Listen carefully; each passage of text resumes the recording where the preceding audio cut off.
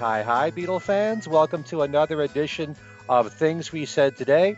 This is a talk show podcast on the Beatles in which we talk about anything and everything that has to do with the Fab Four. It could be about their music, their history, their childhood, what's going on today. really, anything is up for grabs on this show. And I am Ken Michaels. You might know me for a couple of other Beatle programs that I'm a part of, a syndicated Beatle show, heard on over 40 stations right now called Every Little Thing. Also, another talk show podcast, which is all on the solo Beatles, called Talk More Talk, a solo Beatles videocast. And I'm joined by my regulars here on the program. First of all, a man who's been a part of New York radio for almost 40 years now at uh, New York's WFUV where he's also their Beatle guy, does a lot of specials on the Beatles, lots of wonderful interviews with people in the rock field. And that's our own Darren DeVivo. Hi, Darren. How are you, Ken? Hi, Allan. Hello, everyone. Thanks for uh, listening to uh, the show today. And our other co host, you know him for a couple of Beatle books that he's written, From the Cavern to the Rooftop, and also Got That Something how I Want to Hold Your Hand changed everything. And for many years, he worked at the New York Times, manning the desk at the classical department. And anything that had to be written on the Beatles would be written by him. For many years, he's written for Beatle Fan magazine. He also is a freelance writer for uh, the Wall Street Journal and other publications. And that's Allan Kozinn. Hi, Allan. Hello, Ken and Darren and everyone out there. On the show today, we're going to have an interesting conversation that pertains to the Beatles catalog and their early music versus their later music and the popularity today, and actually for several decades, of both. I'll explain that more after we um, tell you all what's happening in the latest of Beatle news. And um, as you would imagine, early in the year, there's a lot less news than in the rest of the year. But we'll get to what we do have.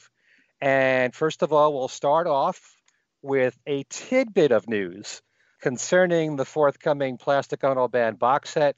The website plasticonoband.com says that an announcement will be made on March the 4th. So originally it was going to be in January or early 2021. And uh, now they're saying that the announcement will be on March 4th. So we will know what the release date will be then. They're not saying it'll be coming out March 4th, just that we'll know on March the 4th. I just have a sneaking suspicion because we do have a Plastic Ono Band box set coming out, an All Things Must Pass box set coming out, and also a Let It Be box set coming out. They'll probably be spread out probably a couple of months apart. So it's just my own personal opinion and I don't have any inside information here.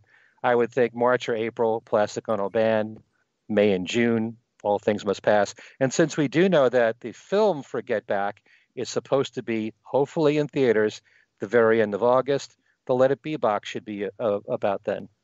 Would you guys agree with me? Yeah, that's that's yeah. probably true. And and somewhere in there too, there's the next uh, McCartney archival ones. Well, I have a feeling that probably won't be while this is being released. Probably towards the end of the year, I would think. Just my hunch. It's too much material all at once. Too many box sets. That's true. Too much necessary cash. In a pandemic so, where nothing's open. yeah. See, Ringo makes it easier for all of us. He just puts out an EP. you know? Yeah. Thanks, he sympathizes Ring. with all of us. Ringo's catalog is due an overhaul in a box set, so there'll be, that there'll be true. another thing to buy. that is true. Uh, in other news, Paul McCartney's latest album, McCartney 3, well, its chart activity. It debuted at number two, sunk to 37, dropped to 90, went all the way down to number 200, and now is off the charts. So, kind of like what I said about Egypt Station, and new albums by veteran artists today. They have a high debut at the very beginning, and their chart life tends to be around four weeks, which is exactly what happened with McCartney 3. Also, this is very interesting. Rolling Stone reports that Yoko Ono and Janie Hendrix, the stepsister of Jimi Hendrix, are among those starting a new music channel called the Coda Collection, which will be streamed exclusively through Amazon Prime Video. The channel was named after the new multimedia company co founded with CEO Jim Spinello, also with director producer John McDermott and veteran entertainment lawyer Jonas Erbsman. Sony Music Entertainment is an equity partner, and the channel will launch on February the 18th, which happens to be Yoko's 88th birthday. Yoko was quoted on the new venture. She said, John was always on the cutting edge of music and culture. The Coda collection will be a new way for fans to connect on a deeper level. The article from Rolling Stone goes on to say that the channel will feature rare concerts and new documentaries, as well as premiere films, alongside other music programming. During the channel's launch, they will premiere new films like Music Money Madness, Jimi Hendrix in Maui. Also, the Rolling Stones on the Air, Johnny Cash at San Quentin, and Miranda Lambert, Revolution Live by Candlelight. Also, newly filmed exclusive performances will debut, including sets from Jane's Addiction and Stone Temple Pilots. Amazon Prime members will have access at the launch to 150 titles for $4.99 a month, with new content updated regularly. Very interesting there. Yoko keeping active and probably just uh, helping to finance it, I would guess. Yeah, it, it, it was it was nice to see her name attached to something new, and you you know and just the thought, all right, she's hopefully doing okay, and you know, was able to sign off on uh, something pretty interesting and well new. yeah, I'm just glad that she's active doing anything. So that's a good sign right there. Be interesting if any John Lennon material surfaces on this channel. Have to wait and see. And uh, also, according to one of my major news sources, and that's our own Darren DeVivo. Thank you, Darren. uh, Dark Horse Records will be releasing a new compilation of Joe Strummer's music from his solo years, and it's called Assembly. This is a 16 track compilation which features carefully curated singles, fan favorites, archival rarities, and more. It'll be available on a Gatefold 2 LP vinyl version, also on CD, and digitally for streaming and download. It is due out March the 26th and it's now available for pre-order. I love these phrases, these descriptions, caref- carefully curated. like what? What did they just like put do- song titles on the wall and throw darts at them, and whatever they hit, that goes on the album? Of course, it was carefully curated. you would hope it was. Yeah, right. You know, it's we like grabbed seeing... any of the first things we could think of and put them on the album. If you're not happy with it, of course, it's carefully curated. Anyway, uh, yeah, that's I think. Correct me if I'm wrong the first release from the re, uh, revitalized Dark Horse label uh, that's coming out on a physical format, I think. I think you're right because everything else, I, I, believe, has just been digital. Been digital, so this is going to be the first thing that you can uh, get on CD or LP from Dark Horse now that the label's been started up again. Mm. Um, and I do wonder how Joe Strummer's catalog got to be a part of Dark Horse, yeah, and I'm I'm I'm yeah. guessing probably through Dhani. I would assume so. Yeah, that's a, a good point, but uh, I I don't know. But uh, there's some great stuff that he did with the Mescaleros. So uh, Joe Strummer, that is. Uh, so this should be a good collection. Mm. Okay. And in now, the world, it was carefully curated. So I mean, what more do you want? it's kind of like advertising food, and you say it's fresh. You know, like what do you expect it to be? You know. I think well, isn't McDonald's that takes pride in the fact that their eggs are freshly cracked? I mean, no, you cracked them three weeks ago and you left them on the side. Of course they're freshly. Anyway, enough on that. Mm. All right, last show I mentioned that legendary record producer Richard Perry has a new book coming out on Kindle called Cloud Nine Memoirs of a Record Producer. Now it's been confirmed as a softcover book due out February the 16th. For Beatle fans, Perry produced Ringo's two most successful albums back to back, Ringo and Goodnight Vienna. Thanks to John Bazzini of the Facebook page The Beatles in Print, Together and Solo for that. Some new cover versions of solo Beatle material. Peter Frampton will have a new CD coming out in April, in which he'll be covering George's song Isn't It a Pity? The Black Crowes have just released a cover of John's song Jealous Guy, but this is not a new recording from them. It's an outtake of sessions from their first album, which is now getting a deluxe box set treatment. Thanks to Mike Nari, one of our listeners, for this information. Also, Cheap Trick has a new album coming out in which they cover John's song Give Me Some Truth. But that recording has actually been available for some time now as a download and uh, also for a record store day release in 2019. But they're including it on their new album, which is called In Another World, due out April the 9th. Okay, we have a few major passings to talk about. First of all, the death of legendary broadcaster Larry King, who is best known for interviewing hundreds, probably thousands, of celebrities on his TV programs, mainly on CNN. Paul was interviewed with then wife Heather Mills for one interview. Larry was there at the one year anniversary for the Beatles Love Show in Las Vegas, interviewing Paul, Ringo, Yoko, and Olivia. Larry also interviewed Julian in 2011, and he died at the age of 87. So I'm told, yet but another victim of COVID 19. Anyone want to hmm. comment on Larry King? I have to say, uh, just just in terms of interview technique, um, I always thought it was odd that he would do something like I remember a, a, an interview with Yoko where he said, "So, you know, what was it like seeing your husband shot down right in front of you?" And I, I don't know. I, I, just I just thought that was kind of a strange way to phrase yeah, the question I mean, to someone hmm. who had been through that experience. But hey, that's me. He always seemed to need to when he was interviewing a a contemporary musician or something like I think he interviewed Eric Clapton once and was constantly going back and referring to uh, interviews and people that he knew from 50 years before, and it was like, you know, kind of kind of silly. That's the thing about Larry King, and and um, you know, I think for a mainstream audience, he was fine as an interviewer. He asked a lot of very general questions that the average person wouldn't know he would be the type of person who, if Paul brought up yesterday in an interview, he'd be shocked. You know, he'd think it was the greatest revelation.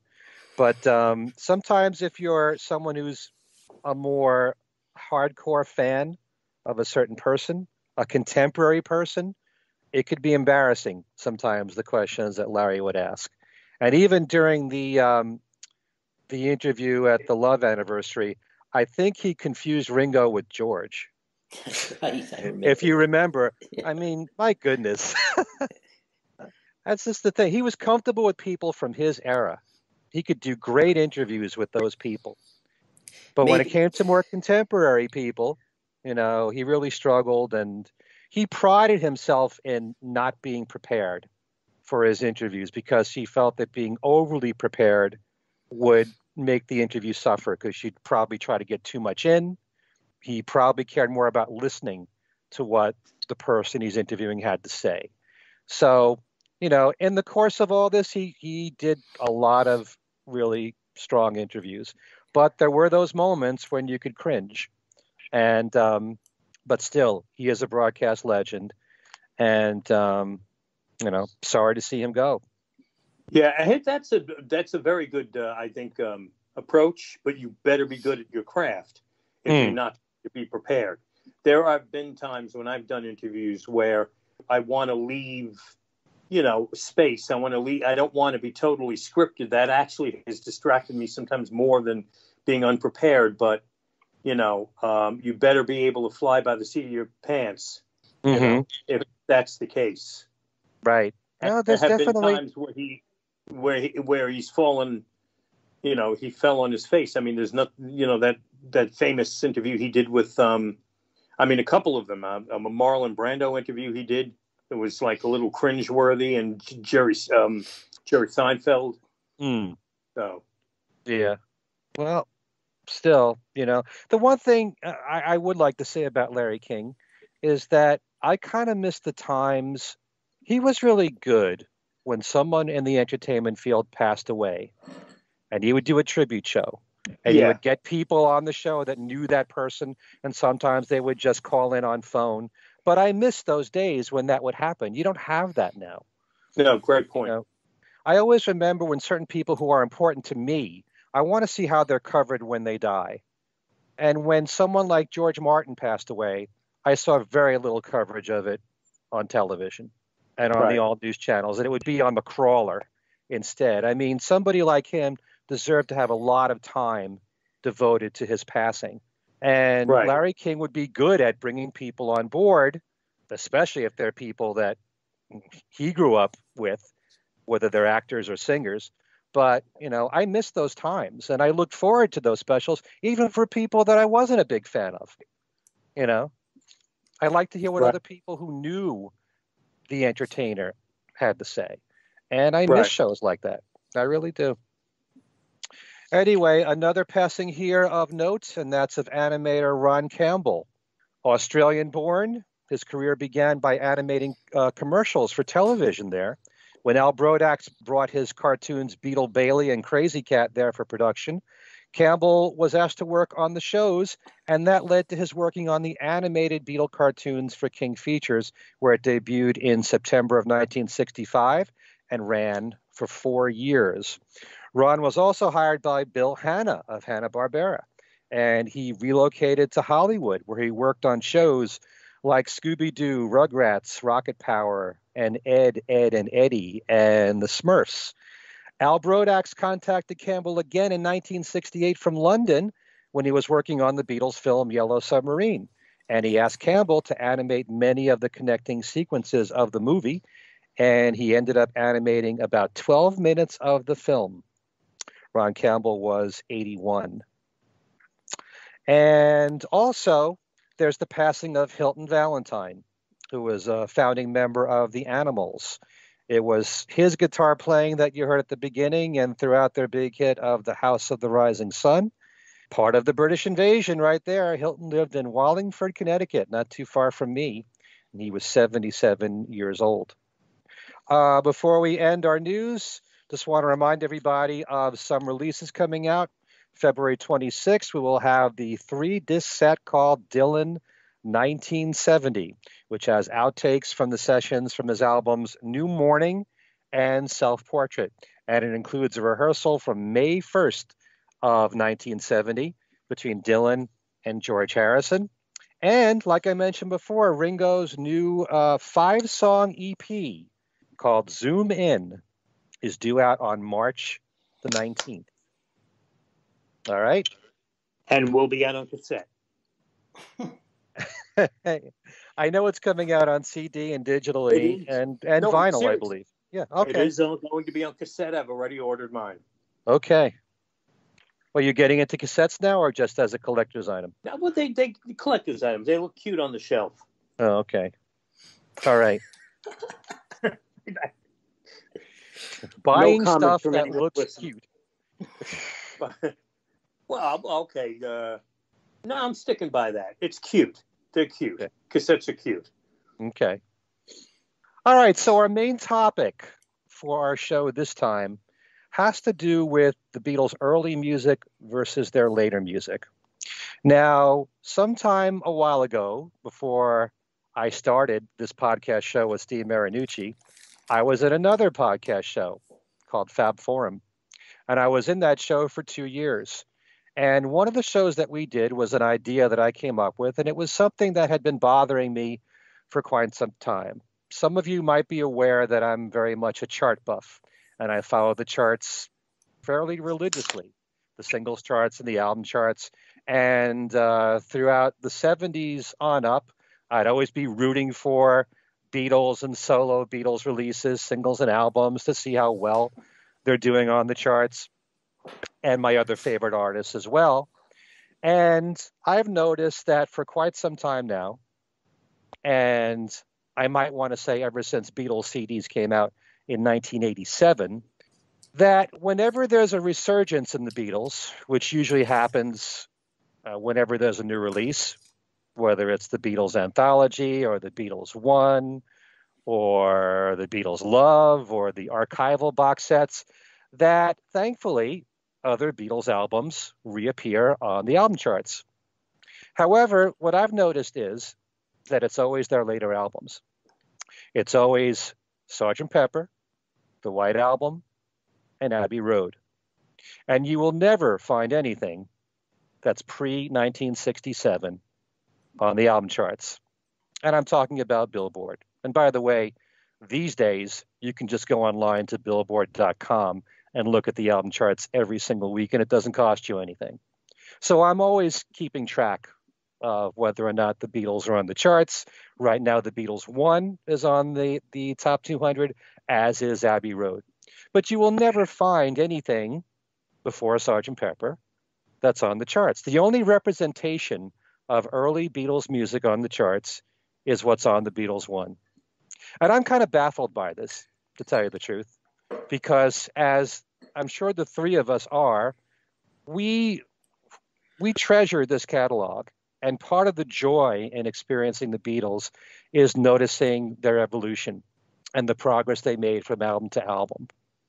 And certainly ever since the CDs came out in 1987, and a lot of Americans suddenly had to get used to the British albums, I've noticed that there's a lot more respect given to an album like Revolver, which in some surveys is listed as their best album. It goes back and forth. We all know that. Sometimes you'll still see Sgt. Pepper listed as their best album, depending upon which survey you look up Mojo, Rolling Stone, whatever. So Revolver's gotten so much more respect, I feel, ever since the CDs came out. Rubber Soul, I think, has gotten much more respect. But those albums never appear on the charts anymore, ever. and I'm sure that if the day does come, and we don't have any inside information about this, but I do believe that after the Let It Be box set comes out, hopefully Capitol and Universal will put out archival releases of those albums. And when that happens, yeah, they'll appear on the charts and hopefully do well, like Sgt. Pepper, The White Album, and Abbey Road have done so far. But for all this time, you'll never find those early albums through Revolver anywhere on the charts. It's also kind of interesting when we talk about the later stuff. Nobody brings up Magical Mystery Tour. Nobody's saying when is there going to be a Magical Mystery Tour box set or, you know, and Yellow Submarine has to be represented too. But I did this show when I was on Fab Forum, and I figured it's a great topic to bring up again with two other people to get their perspective on this. And I do recall that I got several emails on this topic, and I won't tell you what the listeners said till later on because I don't want to influence what my two co-hosts have to say. But I'm curious to know why you think this is. Why is there not the love for the early Beatles music through Revolver as there is for their later stuff. And right now, you don't know this, but Darren is jumping up and down, raising his hand. He wants to be the first person to answer this question. Believe so we're going to go to Darren. yeah, believe me, if I was jumping up and down, you'd be it would be turning up on the Richter scales around the globe. Um, okay, yeah, I think you know, I tell you the truth. To me, it's sort of a, a simple case of those albums that you, you tend to see reappear on the charts, Abbey Road, Sgt. Pepper's Lonely Hearts Club Band, and um, and the White Album, especially in the case of Abbey Road and Sgt. Pepper's Lonely Hearts Club Band, those albums are iconic with a capital I. Uh, those are albums that people who are passive music fans, passive Beatles fans, will know and uh, can identify. They you see the cover, they know, oh, that's the Beatles. Uh, what is that? Uh, Abbey Road, right? And I guess when you're going back to buy something in the back catalog, the most recognizable is what sells. And um, also, something is to be said for the older albums because they're older. I mean, it sounds, and I'm serious when I say that. You take somebody like take a take a band like the Four Seasons if an hmm. oldie station plays a, a Four Seasons song today, I feel like it's going to almost always be December 1963, Oh, What a Night. Or um, uh, what's uh, not. Um, Who Loves You? Thank you. I had all of a sudden I had Swearing to God stuck in my head, but that's solo Frankie Valli. It's almost like those will be the tunes that would represent the Four Seasons, not antiques like Sherry or Big hmm. Girls Don't Cry. And I think it's a similar situation with the Beatles catalog, the Rolling Stones catalog, the Kinks, any veteran act that's around. I mean, look at the Who. I mean, if a Who album, not counting any compilations, is going to reappear on the charts, it's going to be the most identifiable titles like Tommy or Who's Next, not Magic Bus or the, whatever early album you want to think of. The Rolling Stones, it's going to be Sticky Fingers, Let It Bleed, perhaps Exile on Main Street. It's not going to be Aftermath or Between the Buttons. So I think it's just that these iconic acts have these uh, iconic albums that you know that that transcend music and that the masses can can identify and thus will you know if they're looking to buy a catalog album to go with their brand new Let It Be box set, it's Abbey Road or it's Sergeant Pepper. And but you can no also you can also argue the fact that the Beatles catalog is as iconic as it gets. And but we're talking from start to finish. It's not like the later stuff is the only stuff that's iconic. No, and, no, you're right. You're talking about album covers. Yeah, I know Abbey Road is probably the most well-known album cover in rock, probably.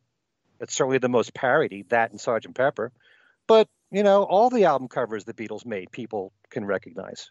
Well, here, let's look at this. Let's look at it this way, because uh, we're talking strictly United States here when you when you're talking Billboard charts. Mm-hmm. Um, so here in the United States, please please me with the Beatles, Beatles for sale, uh, the UK Hard Day's Night, the UK Help. It's almost as if those albums are brand new albums released in 1987. Okay, whereas the old tried and true favorites, probably led by Meet the Beatles, are no longer in stores because I do think the reissues are, have quietly drifted away. And if they haven't, there's very few. There's very few stores. Uh, but when you're talking about new new sealed CDs or LPs, I think those U.S. albums, those reissues, have drifted away.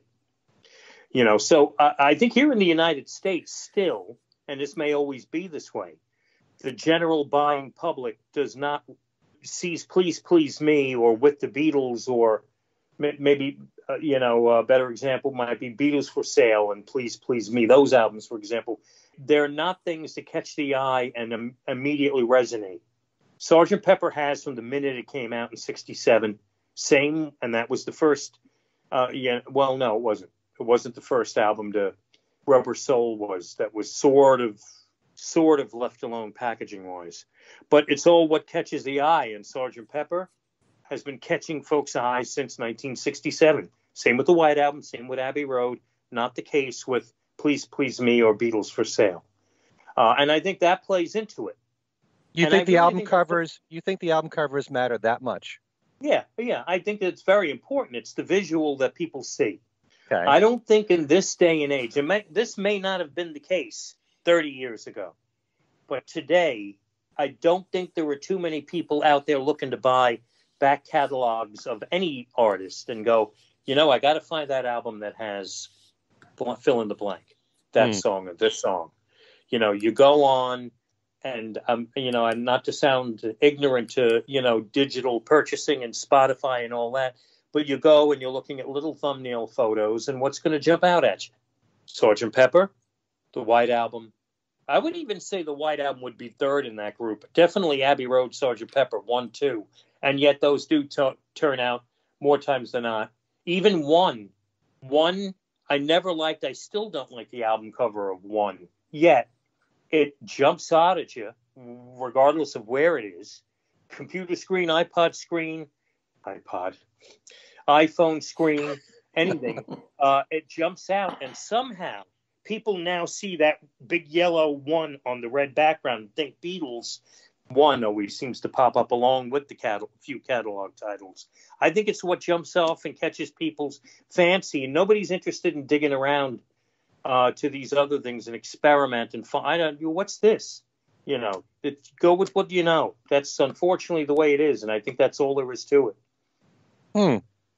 So I, I would have thought that it had more to do with the music than the way it's packaged. You would like to. You would like to think it does. I ha- I feel it mm, you know, then they're going to go for a hits collection, and the hits collection that jumps out at you is one. Case closed. Well, ever since one was released, it has become yeah. the dark side of the moon of the Beatles catalog. It's always there right. on the charts. If there's That's ever right. any album that that will appear whenever there's any resurgence in the Beatles, it's mm-hmm. always the Beatles one.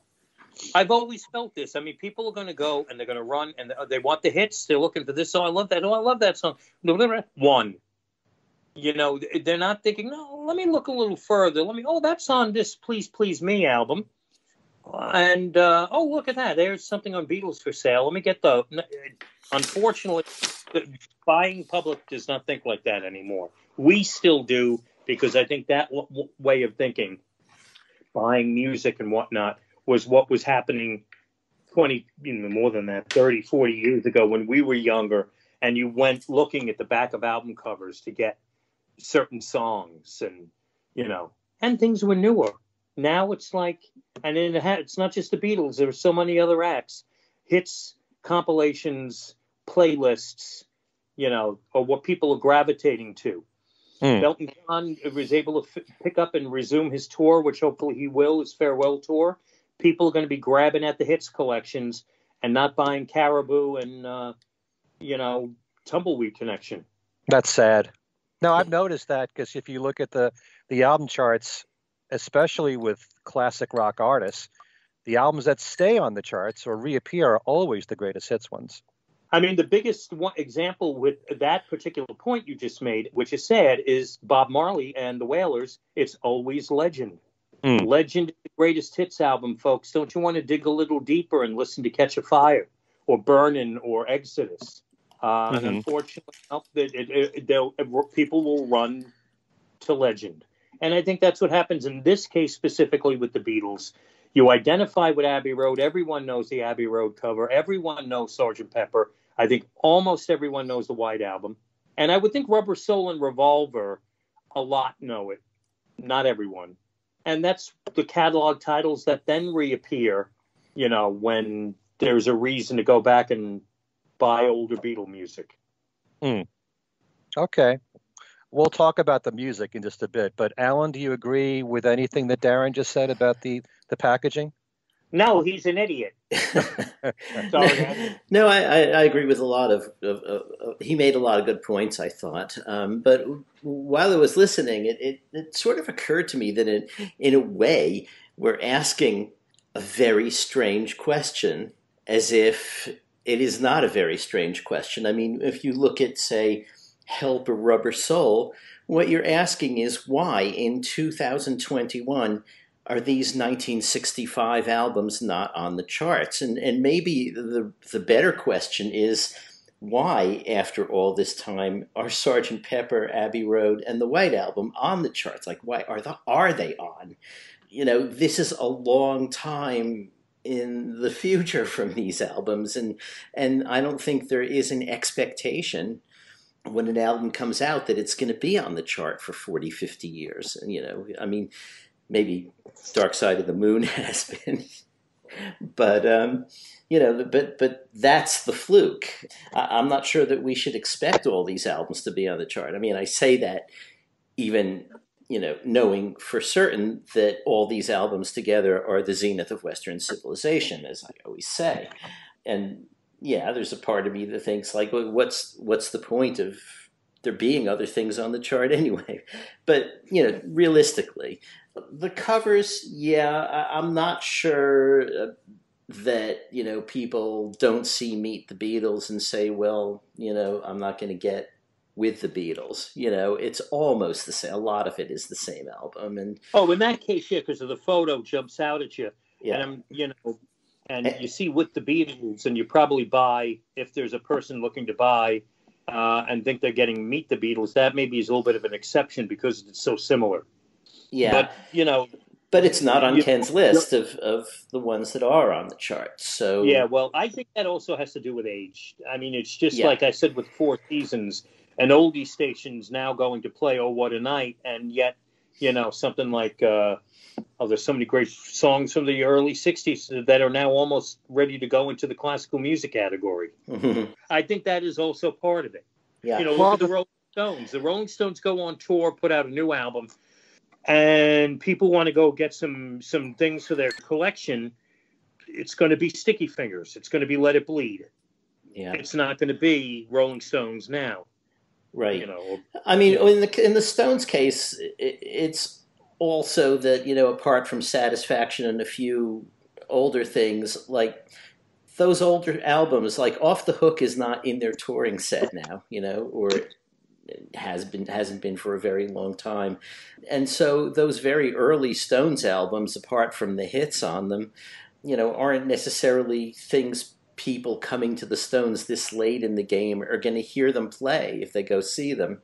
Um, with the Beatles, that's not an issue really, except for Paul plays a lot of old Beatles things. But you know, when when Ken brought up the topic, um, a few weeks ago, and you know, I think we've all been thinking about it since. Um, I had understood it in a completely different way, partly because of debates that I've had with other people, like, for instance, Mark Lewisohn you know, Mark always, I, I, think I might have made a comment about, you know, the, the late Beatles or, you know, whatever from Rubber Soul on, um, which is where I see the dividing line.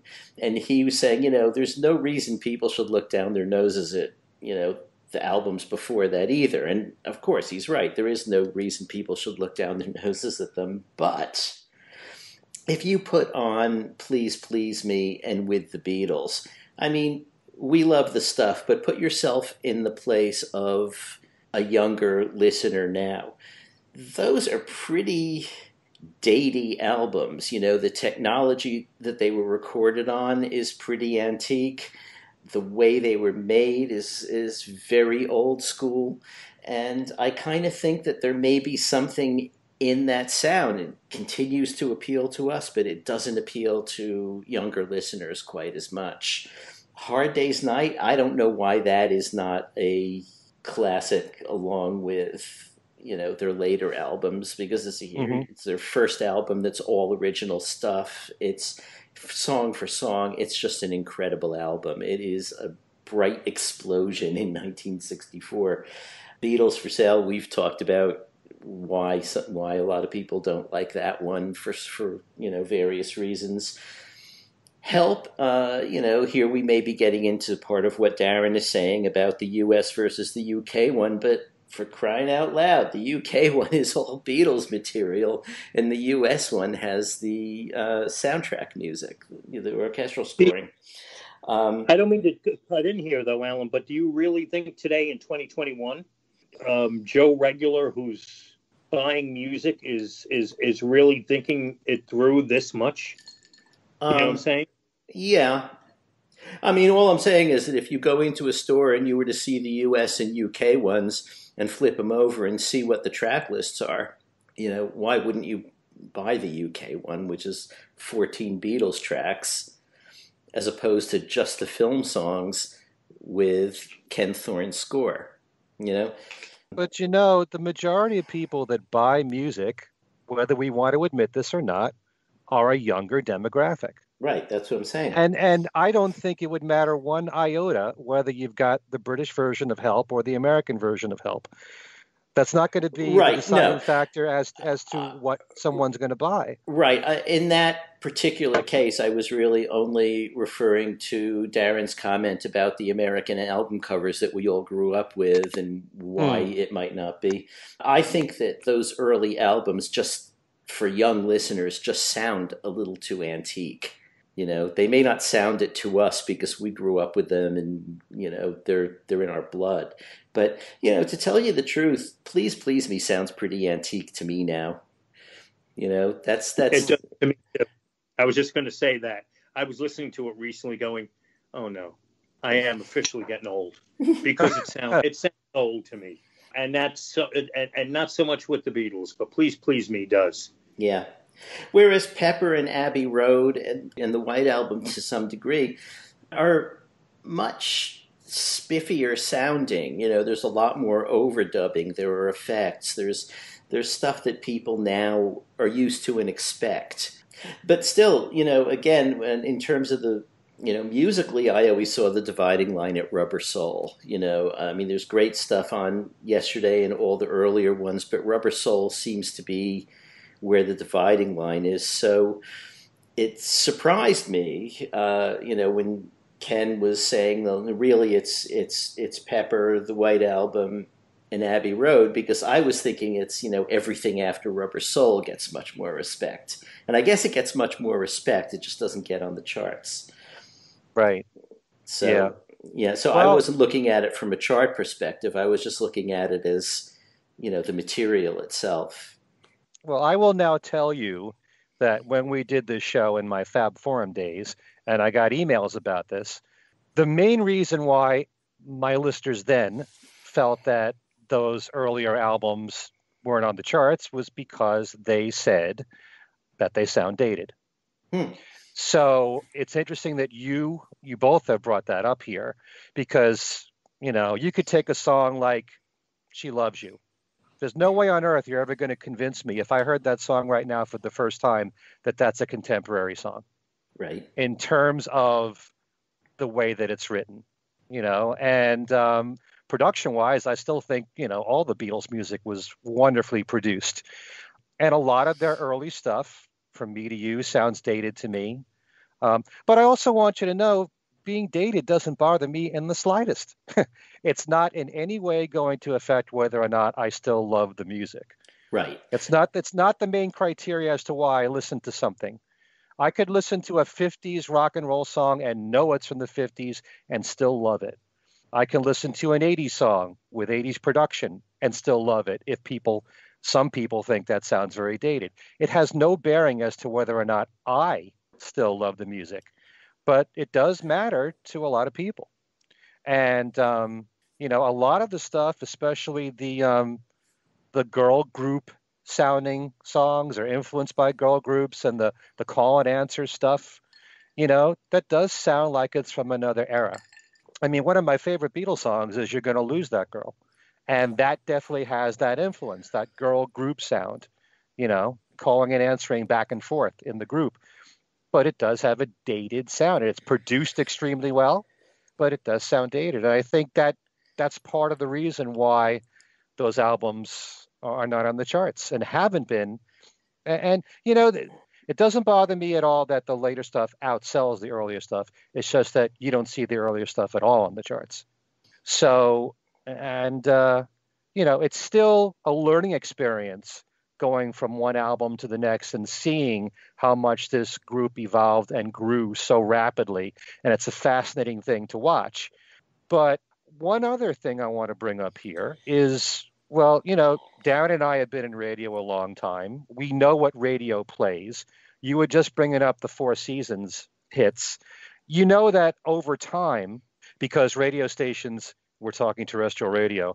They want to appeal to a certain demographic, and once that demographic gets older, they phase them out, which means that you have to move the music up to later decades.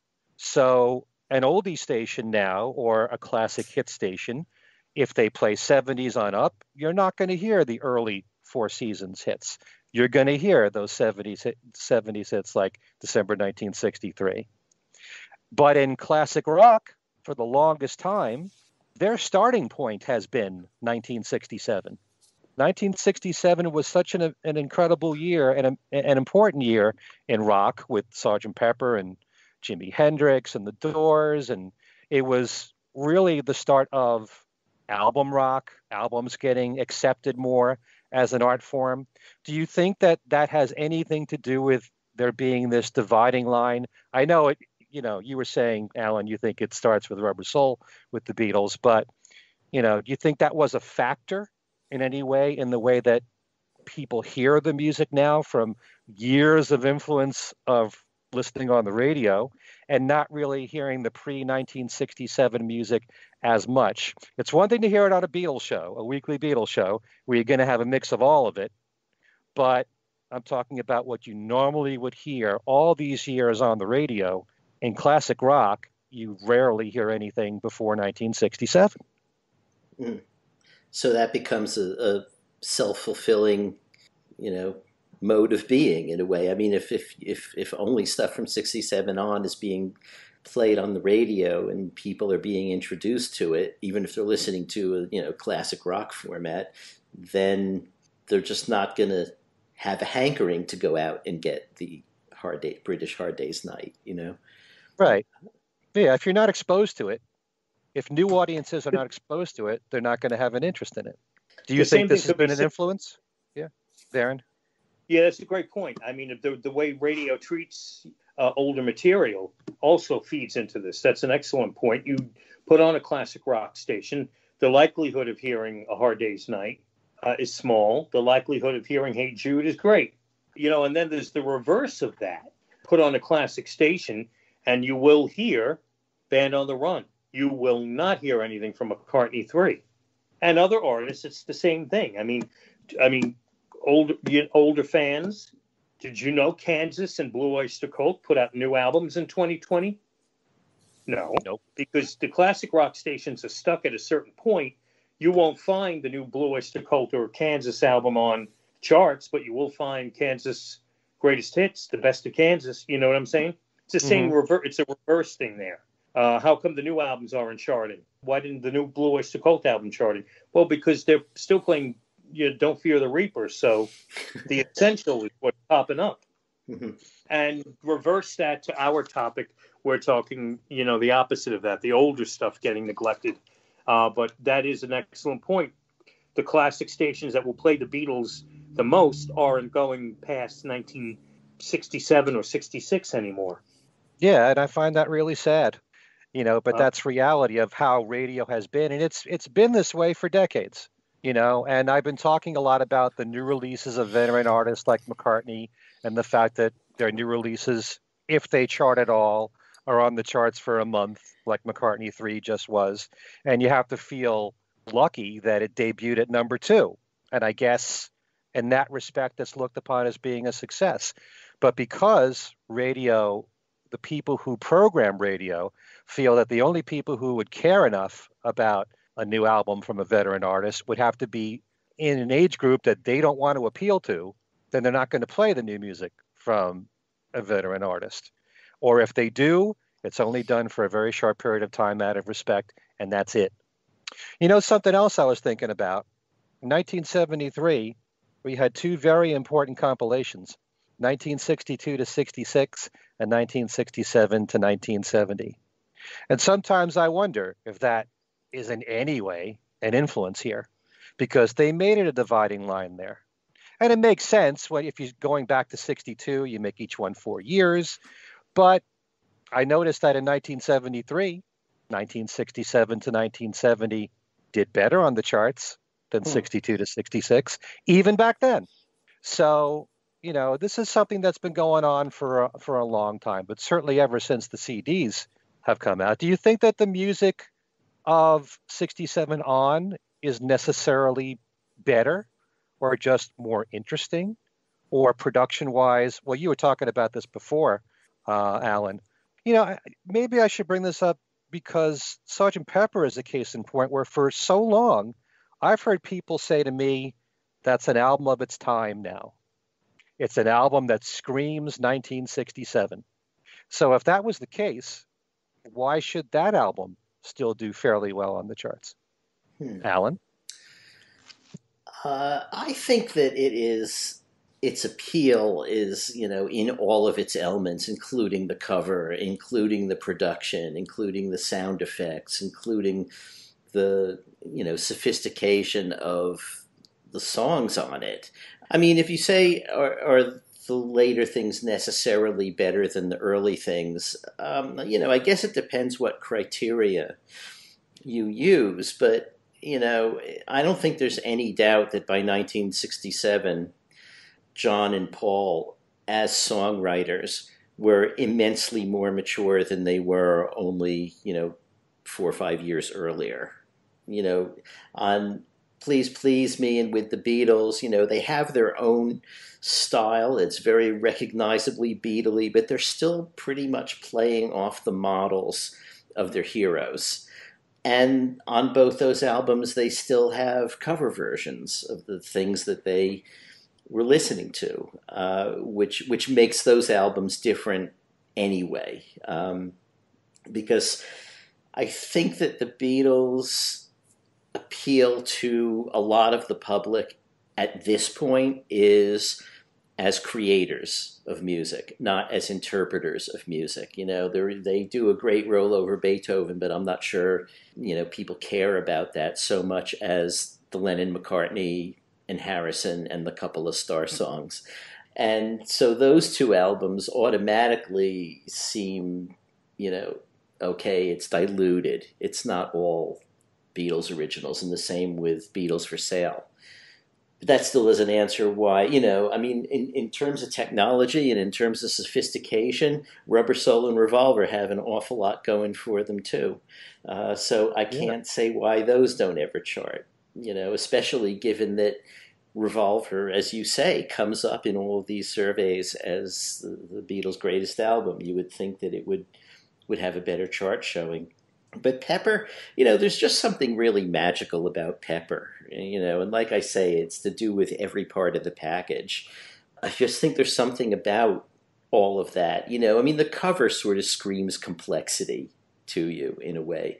It isn't necessarily meant to, but it's not just the group standing there, it's two of the groups standing there, plus a gazillion other people, plus all the flowers, you know, all that kind of stuff. It's it's mesmerizing.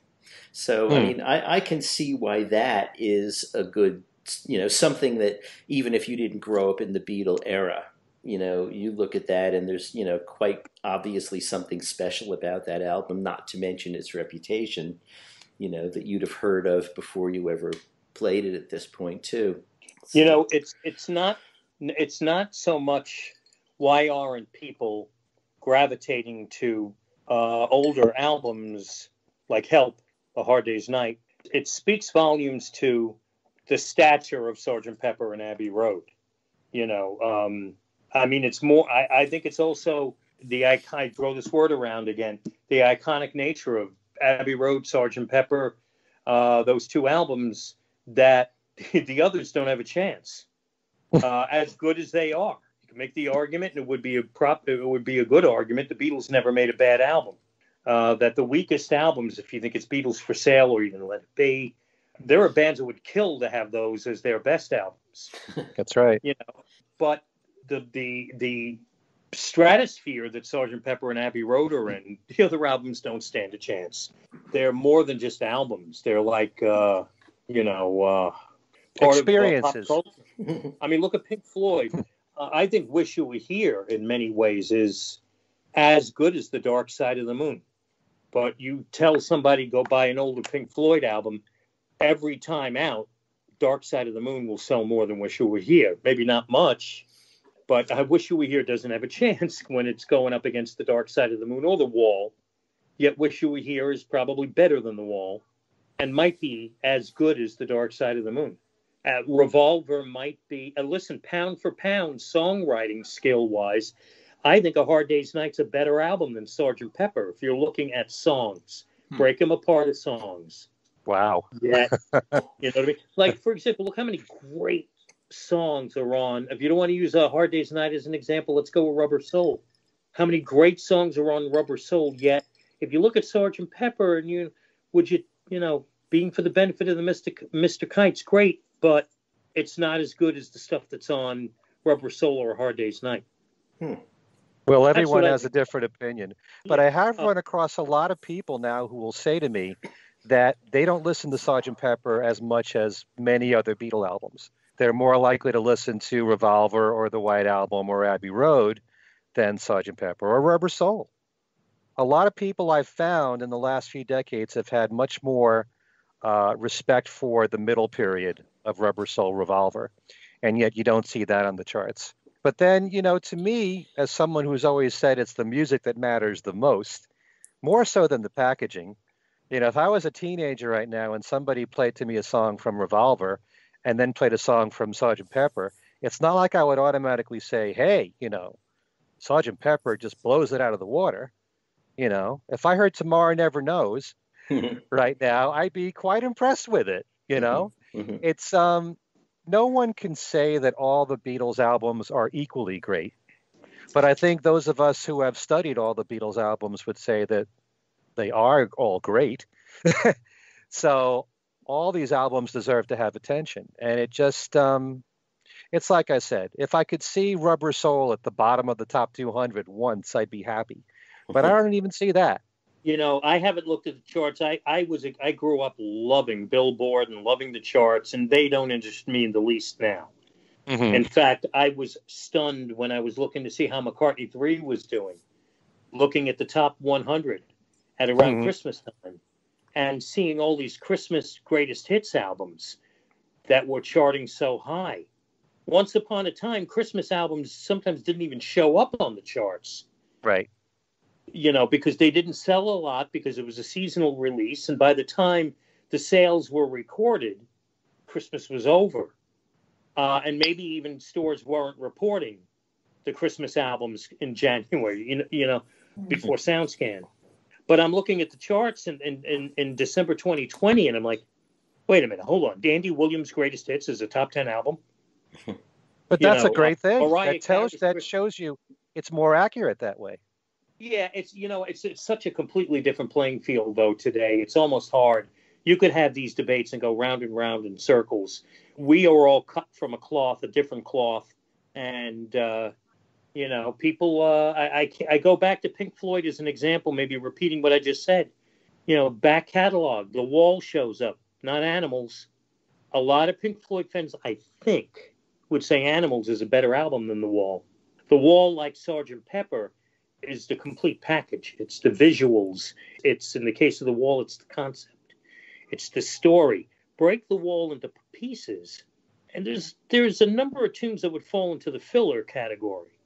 Mm. Not that anything on Sgt. Pepper does, but if you put fixing a hole up against anything on Revolver, I think everyone would say fixing a hole is going to ha- be lucky that you know it gets any attention.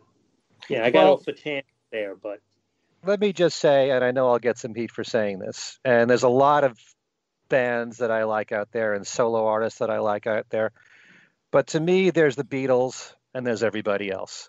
The Beatles are in a totally different class altogether because all their albums really were superb. And it is fascinating to see, as I said, their growth from album to album. You know, I wouldn't say that about all the other bands. I mean, everyone has their favorites.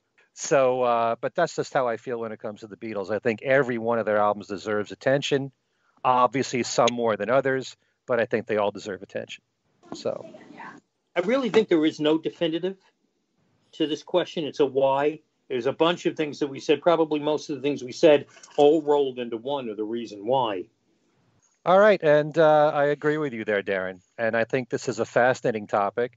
And I would love to know what you guys listening think about this, especially if you're a younger fan, how you view the Beatles catalog. Do you agree with some of the things that we said about maybe their earlier stuff is kind of dated? Uh, when you listen to music today and compare compare that to any of the music that's uh, of your your favorite artists of today, and you mix it together? Do you feel the later stuff mixes well? I'd love to know what your thoughts are about this. And uh, Allan is always so good at giving all of our contact information, so I, why don't I pass you over to him? Okay, you can write to us uh, by email at things we said today radio show at gmail.com. That's one word, things we said today radio show at gmail.com. Um, we're also we also have a Twitter feed um, at Things We Said Fab. We have a Facebook page or two. Uh, things we said today, but we think of the main one as Things We Said Today Beatles Radio fans. Um, you know, the show will be posted there. You can you can comment under that or on the YouTube version, or I think even the Podbean version has uh, comments too feel free to let us know what you think. And if you can, please subscribe to our YouTube channel. Yeah. Okay. And as far as people wanting to contact you, Allan? Okay. Uh, apart from those ways, uh, the easiest way is just through Facebook, either at Allan Kozinn or Allan Kozinn Remixed. Okay. Darren, how about you? Well, first up, if you want to listen to me on WFUV, uh, and you're in the New York City metropolitan area, we're at 90.7 FM and also 90.7 FM HD2. I'm on the air Mondays through Thursdays right now from 10 p.m. to midnight. Hopefully, when the pandemic is over and we're operating 100% we're operating uh, normal because we're all broadcasting from our home studios right now with the pandemic. Um, the show uh, will uh, go back to being 10 p.m. to 2 a.m. But right now it's just 10 p.m. to midnight, Monday through Thursday, and Saturday afternoons, 1 to 4 p.m. Uh, that's when you can hear me on FUV. And if you're outside the New York City area, uh, anywhere in the world for that matter, you can stream us at WFUV.org or download the WFUV app and listen there. As for contacting me directly, I have two Facebook pages. If you were to send me a friend request, I'll probably ask you, How do I know you? Uh, which is what I do with everyone. And you just say, Hey, I listen to the podcast. I'll send you an invitation to like my other page as well. Or if you find it, just like the other page, uh, which uh, has my name in it. Or there's two Facebook pages. Just search for me. Uh, and if you want to email me, uh, go to uh, send me an email at Darren DeVivo, D A R R E N D E V I V O, at WFUV.org. Okay, very good, Darren. As for me, if you would like to contact me directly, my email address is everylittlething at att.net. I want to mention just a few things going on with my website. I have a special contest which is starting on Thursday, February 4th, to win the brand new CD by Barry Gibb and friends. Barry Gibb, of course, of the Bee Gees. Uh, this is called Greenfields, the Gibb Brothers Songbook, Volume 1. And what Barry has done is he has collaborated and he's recorded duets with people in the country music field, mainly contemporary ones, a few veterans like Dolly Parton and uh, Olivia Newton John, but certain people like Keith Urban, Little Big Town, Alison Krauss. There's a whole bunch of really great people on this new album, all covering Bee Gees' classics. And you can win a copy on CD. I have three copies to give away in a special contest that will run for a full week starting on February 4th. You can find out all the details on my homepage, which will lead you to my special contest page at kenmichaelsradio.com. Also on my Beatles trivia and games page, where you can win one of 10 Beatle prizes every week for, well, maybe in the next two weeks. Someone's going to win one of the 10 prizes. And if they want, they can win the Barry Gibb CD as well. You just have to let me know that you want it. That's all. So uh, if you can, check out my Beatles Trivia and Games page. And uh, I'm now giving away McCartney 3 on CD and the new book by Jerry Hammack called The Beatles Recording Reference Manual, Volume 5 From Let It Be to Abbey Road. That's all part of the 10 prizes on my uh, trivia page there. I do have a YouTube channel, which is Ken Michaels Radio. I have been experiencing some technical problems with it. I'm hoping to get that resolved very soon. And when that's done, you'll be seeing some new interviews, including one with Al Sussman on there. And the next Talk More Talk, which is on Monday night. That'll be February the 8th. That's at 9 p.m. Eastern Time. You can join us on our Facebook page. All of the co hosts will be talking about our top three favorite songs that the Beatles covered in their solo careers. So, your top three favorite Paul McCartney songs that he covered, not original stuff, him covering other people's material. Top three George songs, top three John songs, top three Ringo songs. We'll have some fun with that next Monday night, go to the Facebook page, Talk More Talk, a solo Beatles video cast, and catch us as we're doing it live and write to us as we're doing the show. And then after that, it's going to be on all kinds of platforms, including our YouTube page. And if you can, please subscribe to that, as well as my own YouTube page, Ken Michaels Radio. All right, this has been a great conversation. It's something that I wanted to do 10 years ago. You never know if this pattern continues. 10 years from now, I might do it again.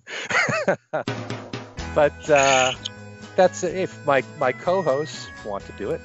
We yeah, have. Why not? We'll see, see what's getting on the charts then. Okay. Be funny if it's only the early stuff. Yeah. Be a complete reversal. Anyway, for Darren DeVivo and Allan Kozinn, this is Ken Michaels saying thanks to all of you for joining us, and we will see you next time.